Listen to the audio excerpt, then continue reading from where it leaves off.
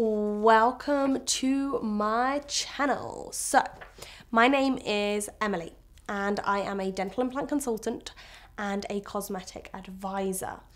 I work at New Teeth Now, but I really want to make these videos because I want to reach out to people and just answer questions for people that are doing research on either dental implants or doing research on um, cosmetic procedures.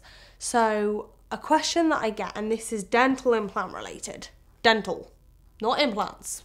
No, no, no, dental. So, a question that I get is why, how can you, okay, a question that I get is, how can you guys do a full mouth of implants in one day? But my single tooth, no matter who I've called, no matter where I've gone, is going to take up to a year.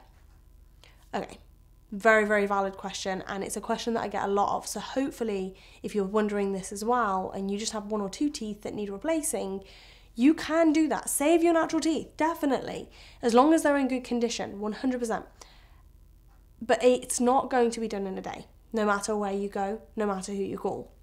And the reason that I say this is because a single implant is done so differently from a full mouth. Okay, so full mouth implants, we extract all of the teeth. This is for people that have deteriorating teeth, excessive dental work, um, and they need all the teeth removing. It's basically a denture alternative, much better alternative, you know, nothing covering the roof of your mouth. However, when we do a full mouth reconstruction, we pick the areas of bone that are good.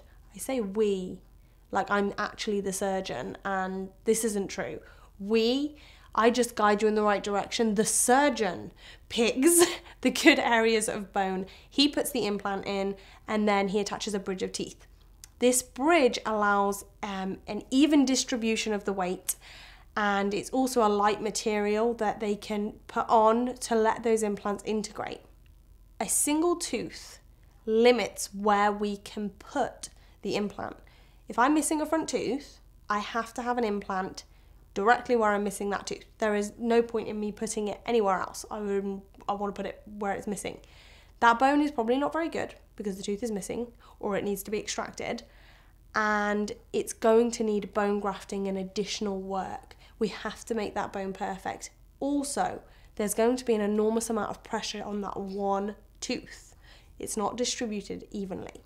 So, the surgeon is going to have to do extra work and it's going to take it's going to require a few more stages. So single implants, whether it's a section of teeth, whether it's one tooth, it, if it's uh, you know a single implant, it's going to take stages. A full mouth can be done in a day.